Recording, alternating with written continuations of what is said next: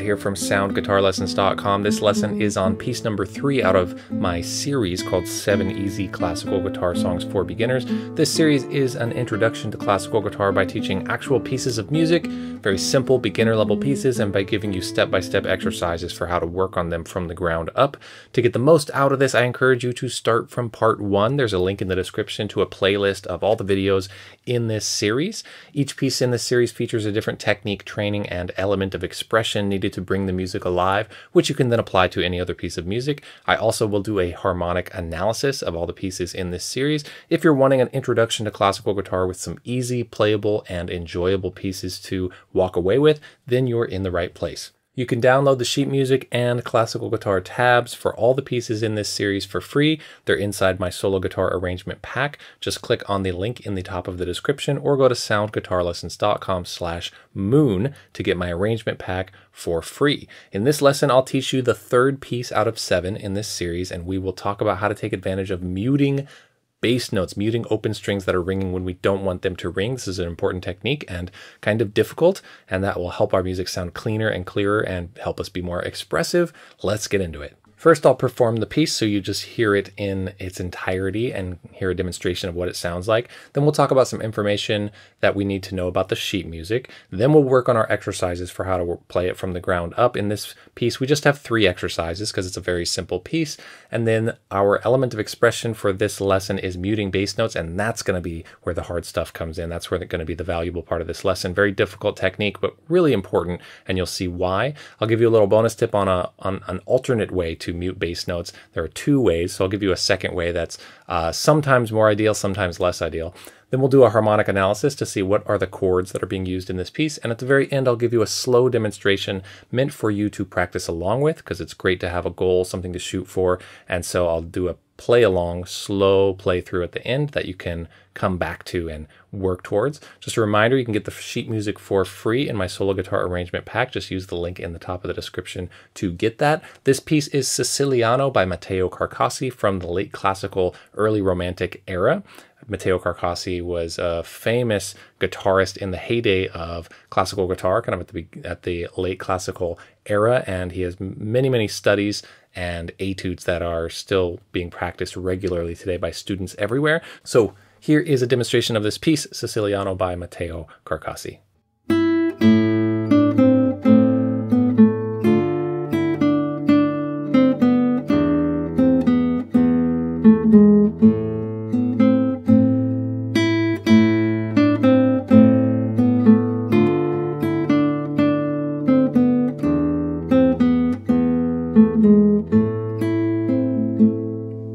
Let's look at the sheet music here for a couple things before we go through exercises. This is in 3-4 times, so this is 3 beats per measure, and each of those beats is a quarter note. So you can count the beats one, two, three, and you can see and feel that it lines up that way. Here we go, one, two, three quarter notes right there. And so it has kind of what people think of as a waltz time feel. Another thing I want you to notice is the stem directions up stem, down stem. So that is usually an indicator of separate voices and separate lines. So we have the bass line and the melody line. In this piece, we don't have an inner line. An earlier piece in the series, we had also harmony in the middle, but this has two things going on. It's really nice that the stems show us that they are separated like that in guitar music.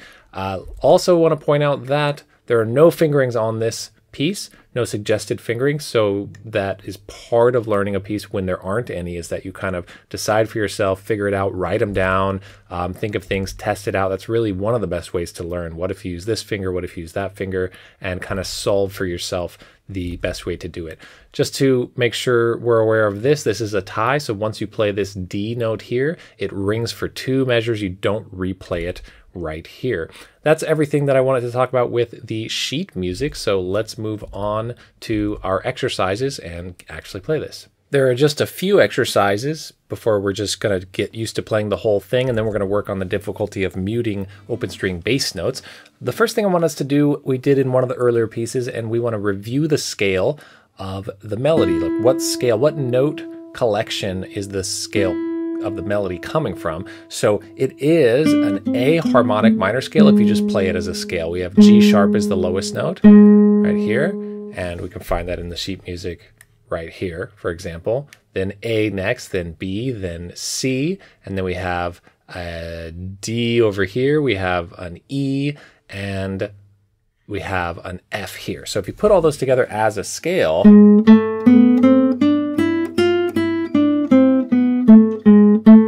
and I just want us to go up and down that scale as an exercise.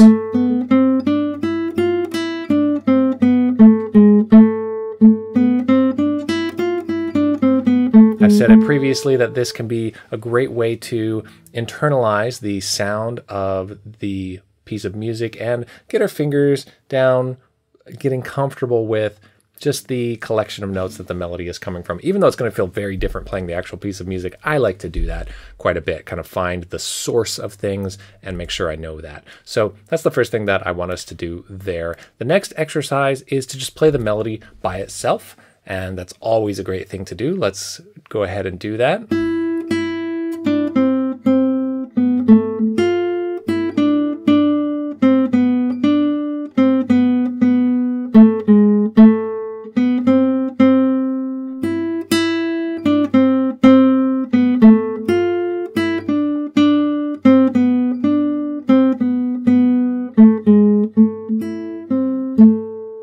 So be able to play the melody totally by itself. Chunk it together if you want, do two measures at a time, four measures at a time, kind of piece it together like you would. Always a great idea before adding everything else. Let's review the bass part. I wouldn't say you have to play the bass part by itself in time, but just kind of review where it goes. Okay, we have open A, open A, then open D, okay, then open E, open E, open A, open A, open A, open A, open D. So it's kind of nice to review that. Bum, bum, bum. Oh, okay, that's helpful to review. And now we're going to jump in and try to piece it all together. And I want you to do this ideally two to four measures at a time, chunks of measures at a time. So if you were doing, say, four measures at a time, do it smaller chunks if you want. You could even start with one, but here's my strategy for this when in doubt. Make sure you can play, we won't count this as a pickup measure. So these four measures, I'm taking this big chunk, but do two if you need to. I'm going to be able to play these four and then these four, and then these eight. Okay, then you do these four, these four, and then these eight. Um, and any kind of other baby steps in between, you have to decide that for yourself. You are your own best teacher. You need to see the the red flags for yourself as you play the things that are needed and go and solve those problems. But this is a great way, especially if a piece is a little harder and more complex, chunk it together. So let's do the first four bars.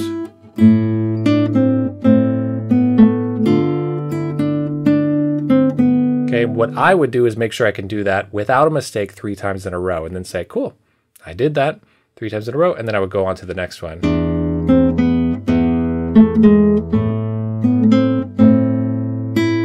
Okay, same thing, and then you would piece it together. And any kind of version of that, so you're not just starting at the beginning all the time, playing through, not recognizing mistakes, and just you know, kind of hacking your way through. You want to try to get those three times in a row on small chunks. So then the mistakes are really clear. We kind of want a punishment for the mistakes. We have to stop, start over, get three in a row. It'll be the one of the best things you can do for your practicing. Uh, it makes you recognize when there are mistakes. So that'll help you piece it all together. I'll play the slow demonstration soon. Let's talk about the really important, difficult musicianship training in this lesson, which is muting bass notes. This is so essential but it's also relatively advanced. So if you are going through, say, a, a, method book series of classical guitar, it might not be till you work all the way through volume one and it takes you a year. And then midway through the second volume of the classical series, it'll say, hey, by the way, when this A is ringing and you play this D, you want to mute this so it doesn't keep ringing over the other one. Or when this E comes in, you want to mute the previous open D. So this is so tricky because these are these beautiful open strings that we get to use to support our playing. But if that D just keeps ringing, it's kind of washy sounding. And sometimes it sounds better than others depending on the notes and the context and everything like that. But if we but we need to come to terms with the concept of muting open string bass notes um, and try to start grappling with it a little bit and try to start doing it here and there where we can. But do keep in mind that it is really tricky in purely a coordination sense. and it, it's usually introduced later in methods. I like to introduce it earlier because it is simply coordination. I would say it's simply a tedious thing. Um, there's nothing, you, there's nothing uh, athletic about it. It's not like extreme technique or anything. It's just coordination. It's not strength or flexibility. It's just I need to remember, you know, know the music enough and while I'm playing, go mute it with my thumb. So here's the default way to do it. I'm going to start at the top. Okay, so I played that third measure there, the F and the D, and then my thumb hopped over to the A right as I was playing. I'll keep playing this time so you see it.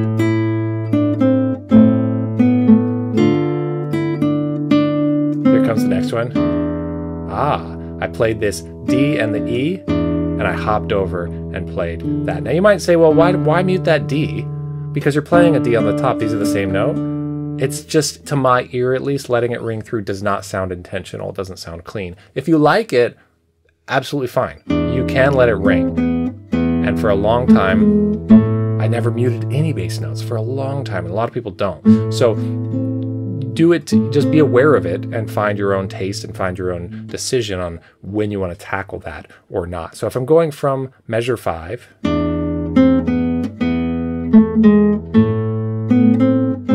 okay, so I went A and then muted the E like that. I'll do it one more time. Watch my thumb.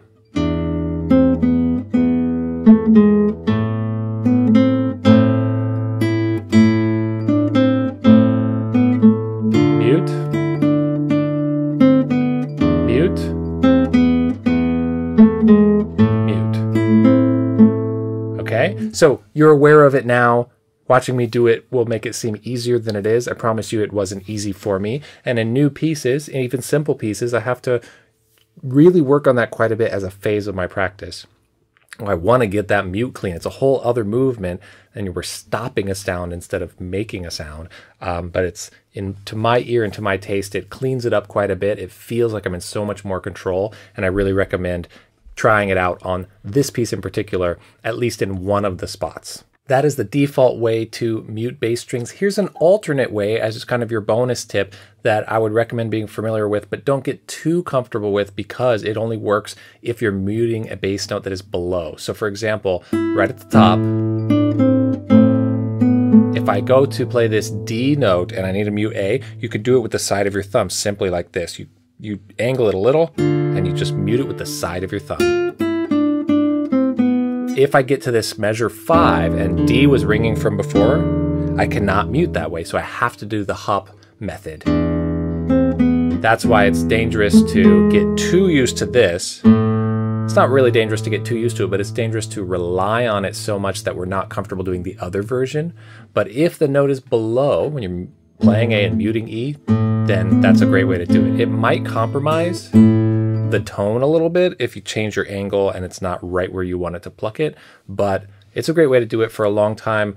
I was muting bass notes only that way and not the other way, so at least you get some of them. So it's better than nothing if you do want to do that and kind of work on the harder version, which is the the main one I showed you is kind of a harder version, and you're welcome to you know, save that for later if you want to. So that's your other way of muting bass notes. Let's do an analysis of this piece, harmonic analysis, and just kind of phrasing analysis. I want you to just phrasing wise look at how this is da, da, da, da, da, da.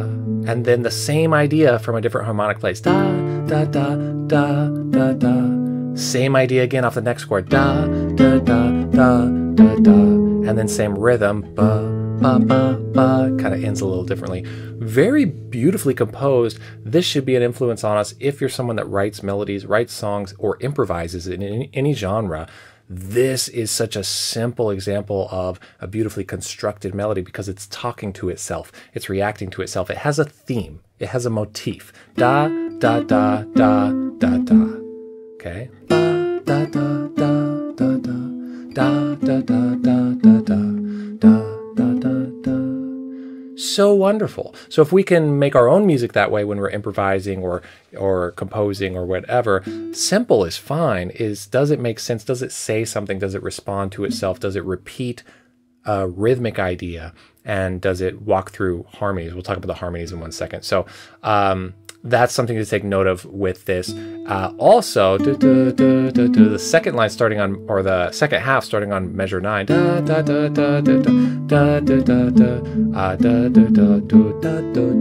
we have the exact same thing, this whole thing, and then the exact same thing again that ends slightly differently.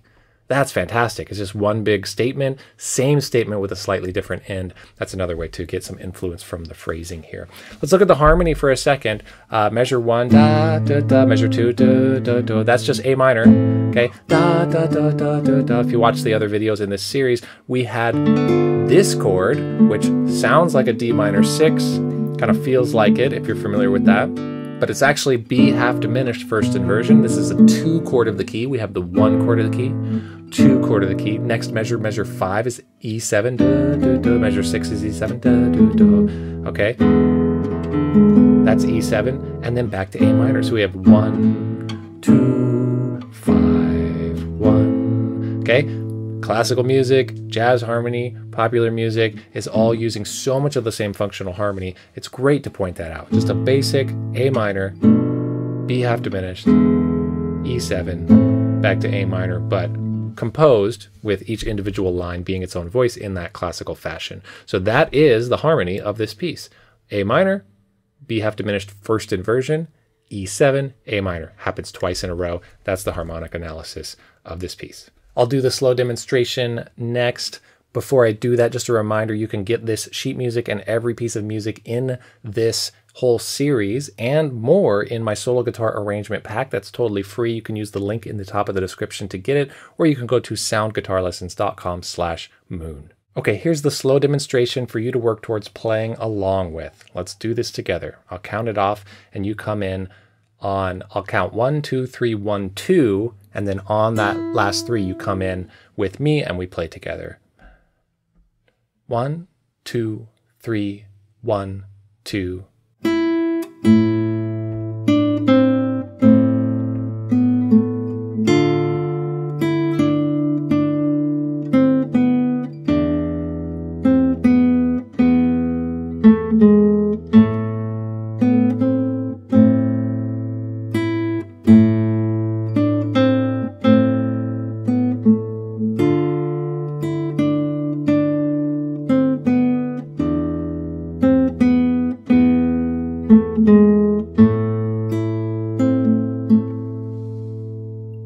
That's it for this lesson. I post a new lesson video every week. Hope to see you in another lesson soon. Hope to see you in more lessons in this series. Thanks so much for watching. Take care and happy practicing.